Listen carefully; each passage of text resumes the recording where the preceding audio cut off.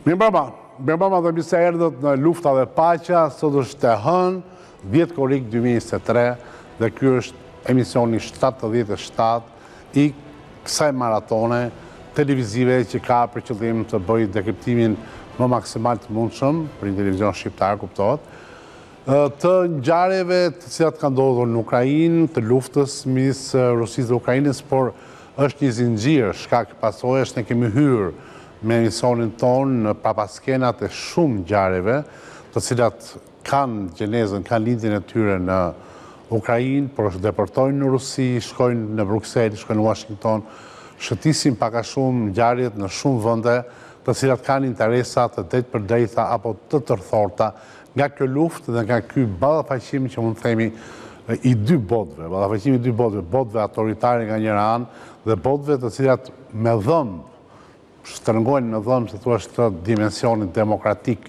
i cili nuk duhet të rrëshqasë dhe perëndimi Duam apo s'duam, kjo është e vërteta, e mban një standard demokratik shumë më të lartë. Pra janë, në një lloj kuptimi, betejat e dy standardeve që përplasen në Ukrainë. Cili nga standardet do fitojë? Ky ka qenë, kjo ka qenë dilema kryesore. E them këtë sepse po hyjmë gradualisht në në emisionet tona të fundit të këtij sezoni dhe prandaj dua që të keni të qartë se përpjekja dhe përkushtimi për të për të transmetuar, për të dekriptuar, për të parë pas kuintave, pas ngjarjeve, pas fjalëve, midis rreshtave,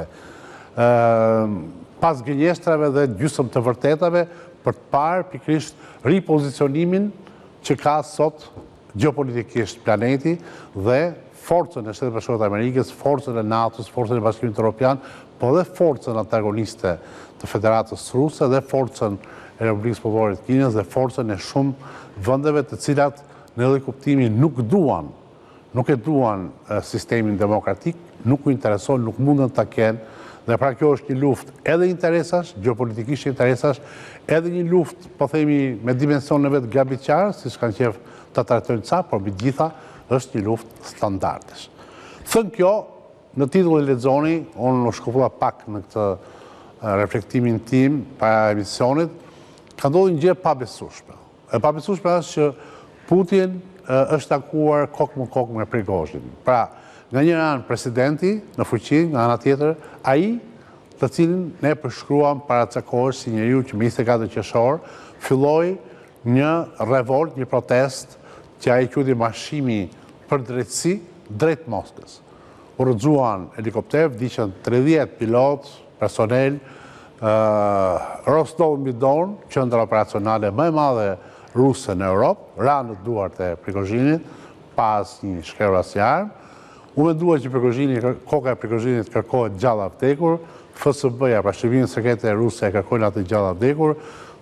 Ai u strehua përkohësisht në Bjellorusi tek presidenti Lukashenko Dhe befas, gazeta Liberacion na bën të ditur fillimisht që jo, Prigozhin nuk është më në Bjellorusi, por është në Moskë. Në fillim doli një fjalë tjetër, një lajm tjetër që u mendua fake news, që ishte në Shën Petersburg. Po jo, tani lajmi më i fundi i konfirmuar edhe nga TASS Pra agjencia zyrtare e lajmeve ruse, Prigozhin është në Moskë dhe ka takuar personalisht Vladimir Putin dhe ka dhe gjeneralë të tjerë dhe kanë biseduar mbi të ardhmen e luftës dhe mbi angazhimin e trupave Wagner në sistemin e ushtrisë së Federatës Ruse. Pra është e pabesueshme që shkelen 700 ligje, ky është autoritarizmi, shkelen 700 ligje, bëhet një revoltë, rrëzohen helikopterë,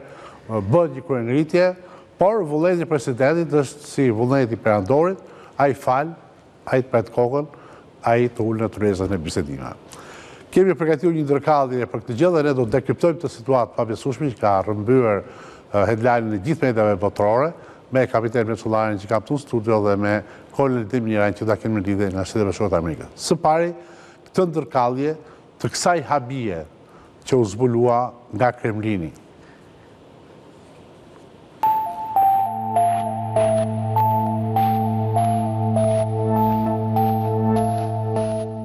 Kësaj radhe janë francezët, që bëjnë të parët në konkurrencën mediatike, një zbulim të habitshëm në prapaskenat e intrigave që zhvillohen në kryeqendrën e pushtetit të federatës ruse. Gazeta e majtë franceze Liberacion citon burime të shërbimeve sekrete të cilat sipas tyre kanë të dhëna që fati politik dhe jetësor i Evgeni Prigozhin mbetet ende i mbuluar me mister. Sipas së përditshmes franceze, ish-pronari dhe ish-kreu i plotfuqishëm i forcave mercenare Wagner, për të cilin presidenti bjellorus Lukashenko tha publikisht se gjendet në Shën Petersburg, aktualisht është në Moskë. Që nga data një korrik, Prigozhin është në Moskë, shkruan Liberacion. Dhe jo vetëm, Prigozhin është thirrur në Moskë nga vetë presidenti Vladimir Putin për të zhvilluar një bisedë kokë më kokë. Tema e bisedës ndërmjet Putinit dhe Prigozhinit mbetet e panjohur plotësisht. Por shërbimet sekrete perëndimore, që kanë folur për gazetën franceze, nënvizojnë se është folur mbi të gjitha mbi të ardhmen e forcave ushtarake Wagner. Madje Prigozhin thuhet të ketë patur edhe dy takime të tjera të rëndësishme në Moskë me gjeneralin Viktor Zolotov, komandantin e Gardës Kombëtare të Federatës Ruse, si dhe me Sergei Narishkin, shefi i shërbimeve sekrete të jashtme. Zolotov dhe Narishkin njihen botërisht si dy nga njerëzit më besnikë të Vladimir Putinit, të cilët në karrierat e tyre kanë bërë shumë shërbime të vendosura kundër çdo kundërshtari politik të Putinit. Mirëpo pas zbulimit publik të këtij takimi të fshehtë Putin-Prigozhin, Kremlini nxori menjëherë zëdhënësin e presidentit rus, Dmitry Peshkov, i cili konfirmoi për agjencinë TASS, agjencia zyrtare e lajmeve të Federatës Ruse. Sipas Peshkov është zyrtare. Putin dhe Prigozhin Janë takuar me njëri-tjetrin në zyrat presidenciale në Moskë. Gjithmonë sipas zëdhënësit të presidentit rus, Prigozhin dhe komandantët e tjerë të Wagner Group i kanë shprehur besnikërinë e tyre të plotë presidentit rus, Vladimir Putin. Ata kanë shprehur vullnetin e tyre të plotë dhe të palëkundur për të vijuar luftën në të mirë të atdheut, nënvizon Peshkov në mënyrë retorike. Duket pra se fatet e shefit të shtabit të përgjithshëm të ushtrisë së Federatës Ruse, Gerasimov, tani më nuk janë dhe aq të mira. Afrimi i Putinit me Prigozhin ishte krejt i pamendueshëm dhe për këtë, me sa duket presidenti rus do të sakrifikojë armiqtë e Prigozhinit, shefin e shtabit të ushtrisë Gerasimov dhe ministrin e mbrojtjes Shoigu. Është e habitshme, por duket se betejën kundër tyre e ka fituar Prigozhini, pavarësisht veprimit të tij ekstrem të marshimit ushtarak drejt Moskës. Analistët perëndimorë mbeten krejt të befasuar nga e gjithë kjo farsë, shpesh e palogjikshme, për mënyrën e arsyetimit perëndimor.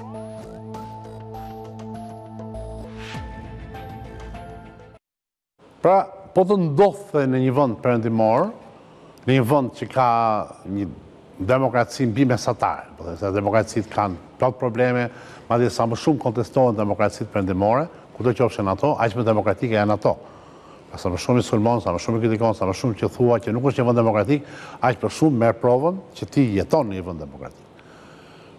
Tani, si ka mundësi që një njeri që tenton një grusht shteti, një njeri që ka marrë tanket, ka sulmuar, ka ka shkuar deri në Rostov mbi Don, ka shkuar deri gati 200 kilometra larg Moskës, Ka vrarë pilotë, ka rrëzuar helikopterë, të cilët kishin urdhër nga shtatmadhoria e ushtrisë për të ndaluar këtë marshim të paautorizuar ushtarakësh, të pritet në Kremlin tek perandori, pra tek presidenti Vladimir Vladimiroviç Putin dhe madje të bisedohet për të ardhmen e integrimit dhe të forcimit të forcave Wagner në radhët e ushtrisë.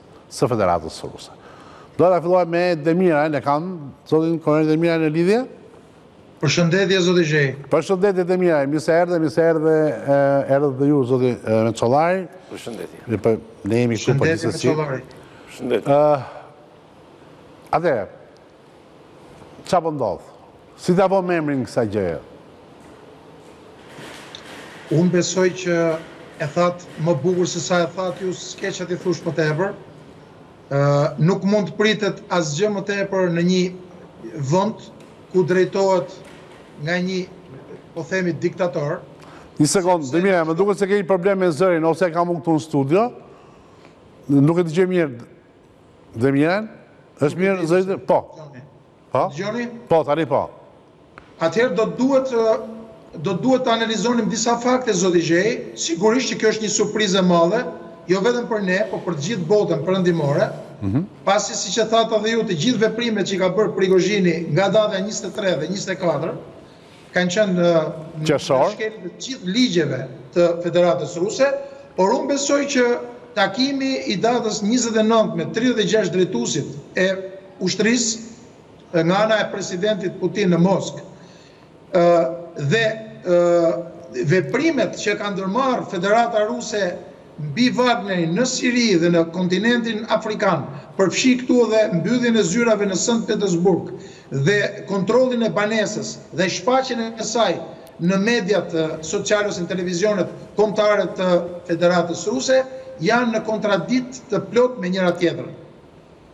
Pra, unë besoj që të gjitha këto veprime që janë ndërmarrë nga ana e presidentit Putin, së pari janë bërë për të ulë figurën dhe reputacionin e madh që ka pas Prigozhini dhe sipas disa publikimeve të datës të datës nëntë, Nga pesëdhjetë e dy për qind ka shku në njëzet e pesë, njëzet e katër, njëzet e pesë për qind mbështetja popullore për Prigozhinin, pra duket që është bërë për ta diskreditu publikisht, pasi në një formë apo në një tjetër ishte bërë kërcënim për sa i përket mediave sociale për Më fal se më kapi veshi që i thatë pesëdhjetë e dy për qind, pra ka patur një konsensus pesëdhjetë e dy për qind për Prigozhinin si antagonist të Putinit apo në vetvete? jo në mbështetje të veprimeve që ai ka bërë muajve fundit në raport kombëtar në Federatën Ruse, mbështetja popullore ka qenë pesëdhjetë e dy për qind. Dhe sipas agjencive të inteligjencës, të gjitha këto pamjet, kontrolli, shfaqja në televizion e parave, e kushteve në të cilat ai jetonte, në të ndërkohë që diskreditonte shefin e Shtabit të Përgjithshëm, ministrin e Mbrojtjes dhe elitën më të madhe politike, të cilët nuk luftonin në front, është bërë me qëllim të plotë nga ana e Presidentit Putin. Por mesa duket, më fal, Demiraj,, mesa duket ne kemi dhënë të gjitha këto elementë. Mesa duket kjo s'ka qenë e mjaftueshme. Sepse qoftë 25% që thoni ju apo 30% është një përqindje shumë e madhe që i mbetet si pajë e konsensusit për Prigozhinin. Për sa kohë që grupi Wagner, zyrat e tij po mbyllen në Siri, bizneset e tij po mbyllen dhe të gjithë njerëzit, pra katërqind e pesëdhjetë luftëtarë ditën e premte janë tërhequr nga Mali dhe rreth pesëqind luftëtarë të Wagnerit nga Republika Qendrore Afrikane, Ta themi, më fal, Demiraj, ta themi Republika e Malit, se mos kujtojnë nga Mali njerëzit. Republika e Malit është një shtet, një shtet në Afrikë. Mirë, mirë. Në Afrikë dhe nga Republika Qendrore Afrikane. Janë tërhequr 400 dhe 500 luftarë të grupit Wagner, të cilët janë urdhëruar drejtpërdrejt të tërhiqen dhe të shkojnë në Sankt Petersburg. Ndërkohë të gjithë luftëtarëve të Wagnerit i është paguar pagesa për muajin korrik dhe i është thënë që të jeni gati për operacionin në javën e parë të muajit Gusht. Pra kemi disa kontradikta me njëri-tjetrin. Ja një sekondë, t'i marrim me radhë, t'i marrim me radhë, t'i konfrontojmë dhe me me analizën e kapiten Meçollarit. Një sekondë, Demiraj. Meçollari, atëherë, është e njëjta pyetje dhe për ju, ça, si shpjegohet ky paradoks? Sun Tzu dy mijë e pesëqind vjet më parë ka thënë, mbaje pranë mikun, por më pranë armikun. Fakti që armiku. Pra janë pranë si armiq të përbetuar tashmë. Janë armiq sepse të dy duan kohë në dispozicion për të eliminuar njëri-tjetrin. Të dy nuk janë në kohë për të eliminuar njëri-tjetrin. Por në vështirësi më të madhe sot gjendet Putin. Pse, ju thatë, sikur të ndodhte një grusht i tillë shteti në një vend europian. Ka ndodhur në dy mijë e pesëmbëdhjetë në Turqi. Brenda javës, U eliminua gjithë elita e drejtimit të Forcave të Armatosura, Shefi i Shtabit të Përgjithshëm, tre komandantët e forcave dhe rrufea ra në të gjithë ushtrinë. Por, kishte një ndryshim, masat që u morën në Turqi me masat që mund të merren në Rusi, sepse Rusia, Turqia nuk ishte në gjendje lufte dhe dhe t'i dëmtoheshin dhe iu dëmtuan kapacitetet ushtarake Nuk kishte ndonjë problem, mund t'i ngrinte. Sot Rusia është në gjendje lufte dhe dëmtimi i kapaciteteve ushtarake, ai mund të eliminojë Pregozhinin dhe gjithë elitën që e mbështet, por ka hallin e kapaciteteve në luftë. Pra në këtë moment Pregozhin vazhdon të jetë kërcënim, por nuk mund të eliminohet dot nga Putin. Atëherë ata do të gjejnë një kohë paqe me njëri-tjetrin derisa Kush do të fitojë? Dakord. Atëherë, meqë këtu ku e la, ku e latë ju, do doja ta vazhdoja dhe, dhe me një pyetje me zotin Demiraj. Atëherë, Demiraj, ku qëndron forca përveç atyre përqindjeve që thamë të popullaritetit që në të vërtetë ka Prigozhin? Mos zotëron ai dhe sekrete të mëdha të Kremlinit sekrete të mëdha, dosjet e errëta të Vladimir Vladimiroviç Putinit, pra mos ka ai dhe një, po themi një database mbushur me informacione të cilat askush nuk do donte të dilnin si raprezalje nga duart e Prigozhinit. Pra ka një garanci për jetën ai apo është me të vërtetë i domosdoshëm ushtarakisht? Të dyja opsionet qëndrojnë.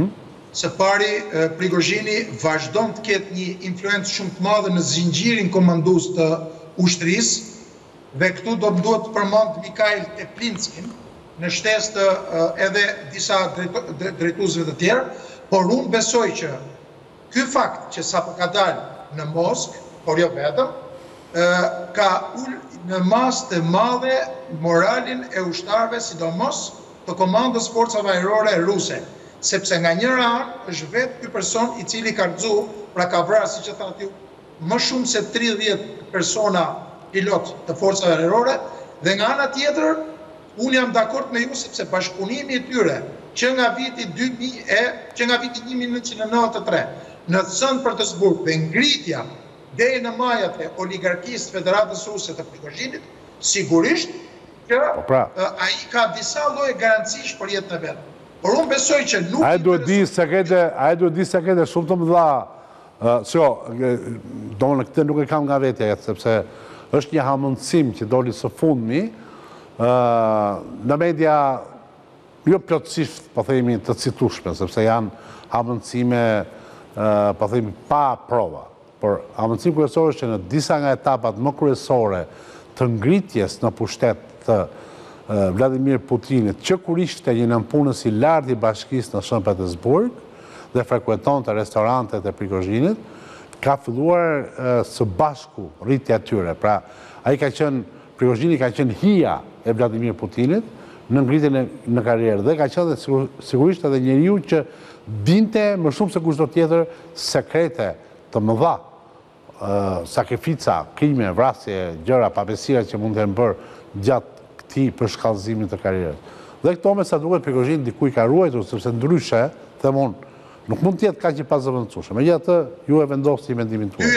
Dy janë personat të cilët e kanë ngrit Vladimir Putinin aty ku është sot.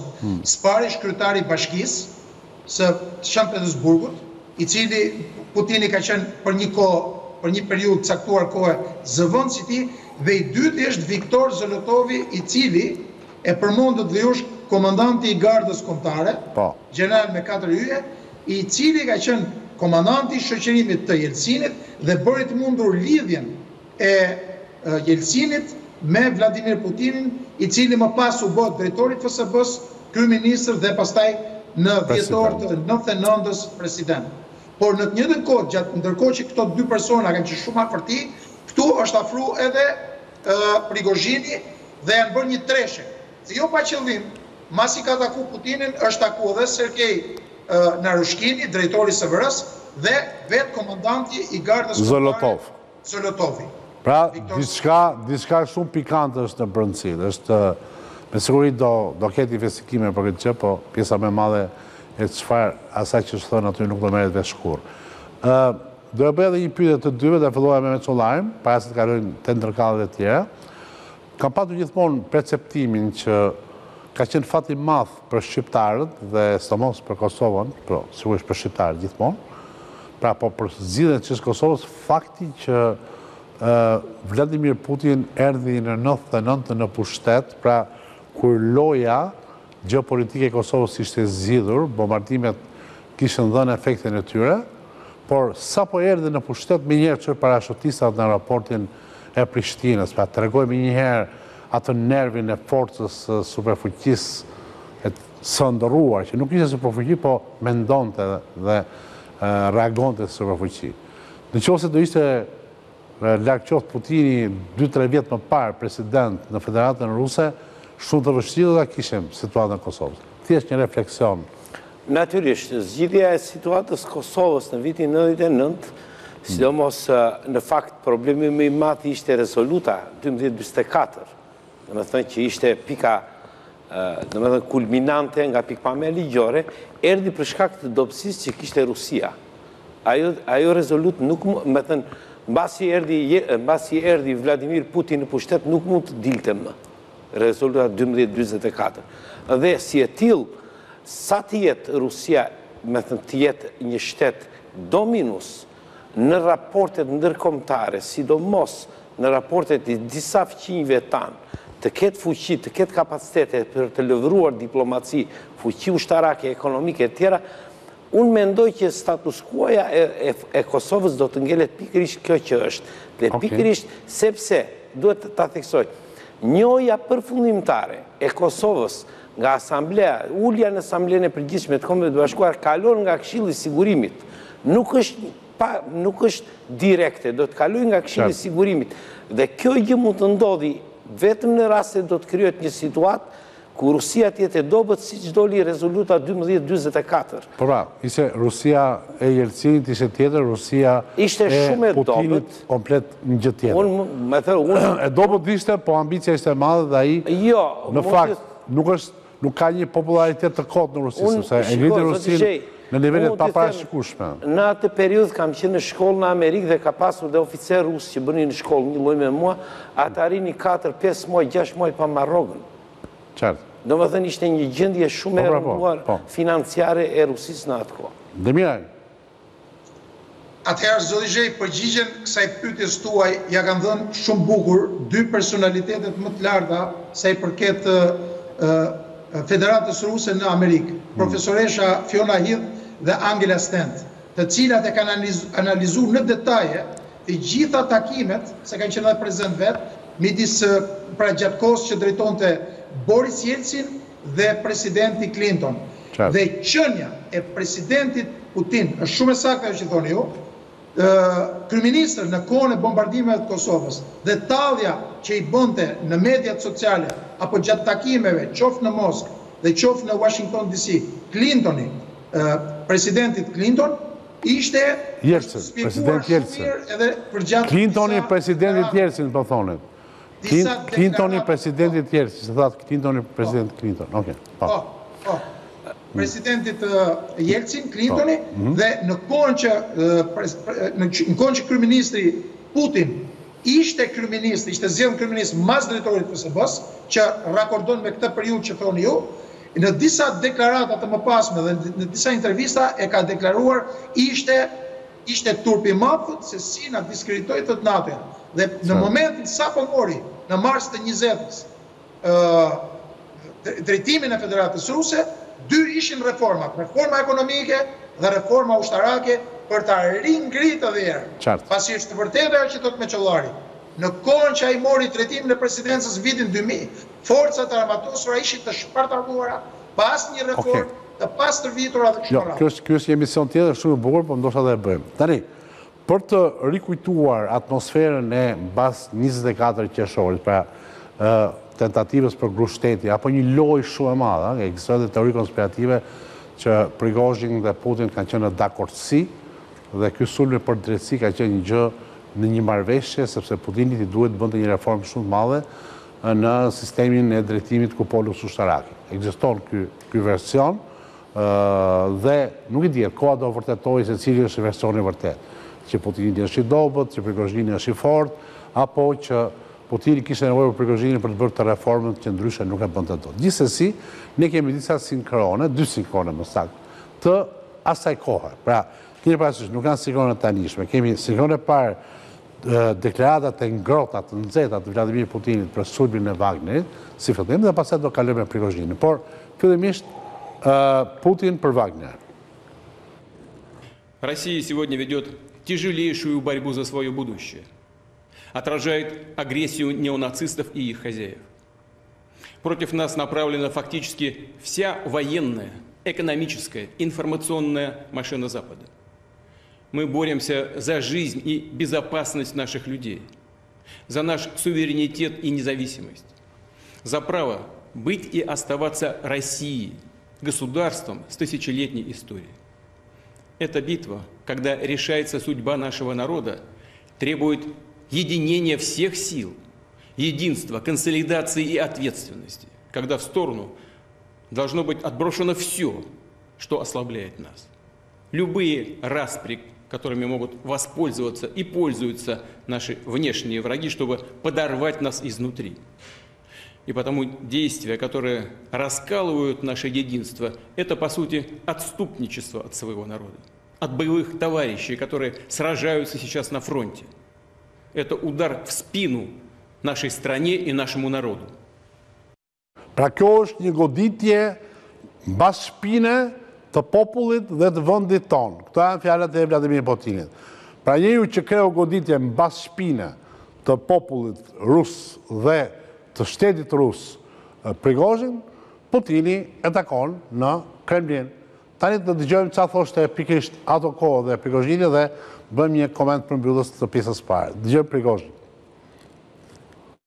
На 24 февраля ничего сверхординарного не было.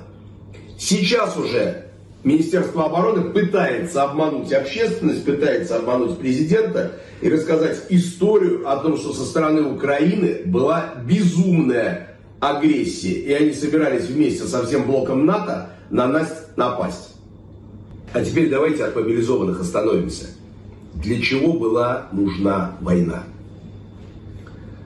Война нужна была для того, чтобы кучка тварей просто поторжествовала и попиарилась, показав, какая она сильная армия. Чтобы Шойгу получил маршала, и этот указ уже был готов, и получил вторую звезду героя, потому что ему очень хотелось войти в историю как великий тувинский военачальник, который стал дважды героем и маршалом в фактическое мирное время. Война была нужна не для того, чтобы вернуть в наше лоно российских граждан, и не, того, не для того, чтобы демилитаризировать и денацифицировать Украину. Она была нужна ради одной звезды с дополнительной вышивкой. Pra, Prigozhin thotë që lufta me Ukrainën ka qenë krejtësisht e panevojshme. Ka qenë vetëm për ambiciet e ministrit të mbrojtjes Shoigu dhe shefit të shtabit Gerasimov për për atë vanitetin e tyre për të marrë ca yje më tepër në në ato uniformat e tyre dhe Nuk përbënte rrezik Ukraina për Rusinë, nuk përbënte rrezik NATO për Federatën Ruse. Nuk ka akuzë më të tmerrshme se kjo. Ne kemi cituar aso kohe, kur ishte menjëherë mbas grusht shtetit. Po tani që këta të dy takohen, si mund ta sheshojnë këtë analizë? Demiraj. Atëherë, zoti Zheji, kjo tregon qartësisht përpara gjithë botës fëtyrën gangstere të Prigozhinit dhe të shefit të tij.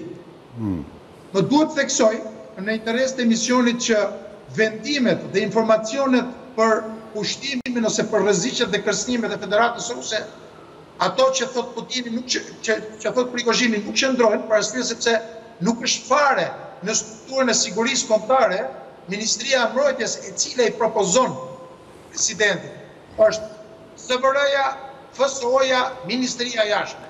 Këto janë tre institucionet kryesore. Ndërkohë, Ministria e Mbrojtjes nëpërmjet GRU-së ka si mision për t'i dërguar presidentit rreziqet dhe kërcënimet ushtarake. Pra, nuk qëndron ajo që thotë Prigozhini, se edhe Prigozhini e di vetë, janë dy agjenci dhe institucione të tjera plus Ministrinë e Jashtme. të cilat i ofrojnë presidentit pra informacione për. Kështu. Kështu që unë gjykoj që të gjitha ato që ka thënë Prigozhini gjatë gjithë muajve të fundit, nuk janë as më pak, as më shumë një luftë për pushtet, sepse pushtet shumë i madh që kishte marrë Prigozhini, i duhej edhe Ministria e Mbrojtjes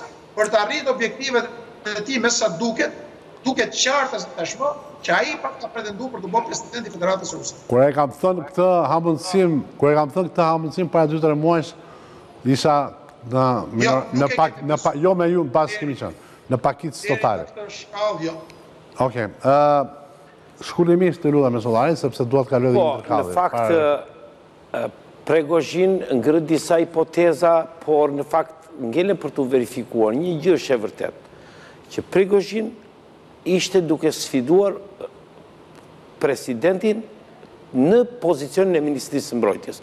Unë kam bindjen që Prigozhin të paktën Për këtë fazë donte të kontrollonte Ministrinë e Mbrojtjes. Gjenerali i cili është arrestuar me nëntëdhjetë e nëntë për qind është propozuar nga Prigozhin për ministër mbrojtje dhe prandaj është arrestuar i pari. Por çështja qëndron cilat janë elementët çfarë favoresh ose cilat janë pikat e forta të Prigozhin sepse dhe ai ka pika të forta. Prandaj nuk po eliminohet dot. E para një Influenca në Ministrinë e Mbrojtjes në lidershipin ushtarak është më e fuqishme sesa vetë ministri i Mbrojtjes dhe shefi i shtabit. Ka një burim financiar të mjaftueshëm, ka një ushtri mercenarësh e cila në fakt tërheqja nga këto vendet e Afrikës për mua është më tepër një grumbullim forcash sesa një mbyllje e zyrave operacionale.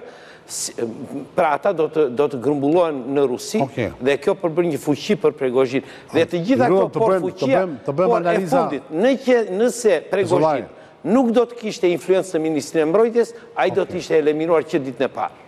Dakord.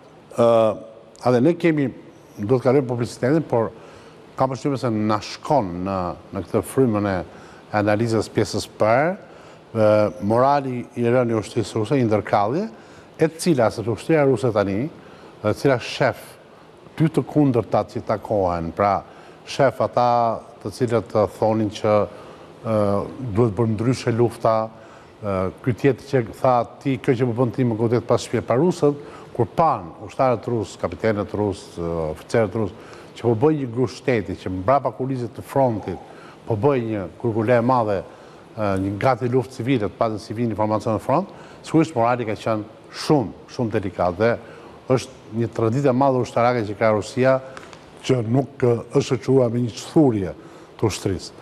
Shohim të ndërkalli, publicitet dhe kthehemi për pjesën e dytë.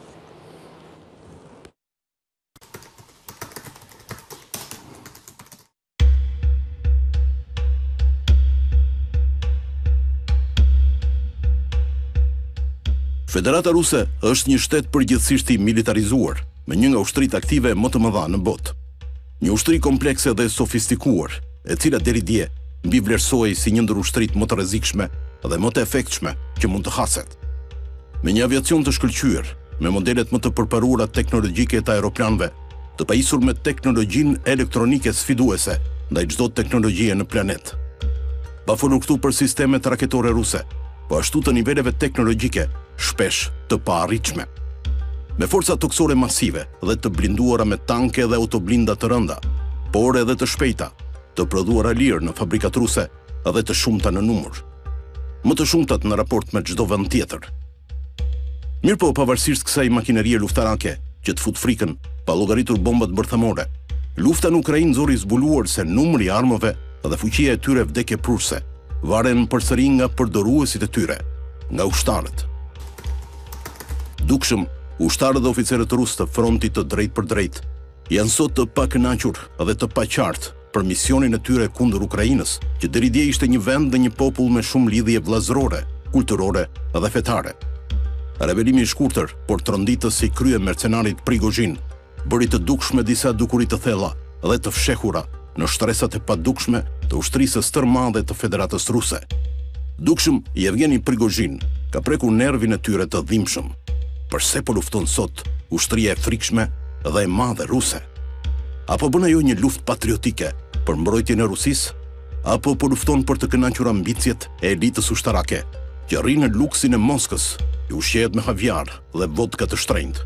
ndërkohë që fronti përpin dhe po vret me dhjetëra djem të rinj. Ky është një ekuacion shumë demoralizues për ushtrinë dhe sidomos edhe për trupën e madhe të oficerëve që kanë mbi 16 muaj në frontin e luftës, duke varrosur ditë pas dite shokët dhe kolegët e tyre. Prigozhin drejtoi gishtin kundër aristokracisë së korruptuar ushtarake ruse, kundër ministrit të mbrojtjes, gjeneralit Shoigu dhe shefit të shtabit të ushtrisë, Gerasimov. Porse të gjithë e dinë se pas tyre qëndron vetë presidenti Putin, mbështetësi kryesor i karrierave të tyre ushtarake, dhe analistët mendojnë të gjithë pothuajse në të njëjtin regjistër arsyetimi.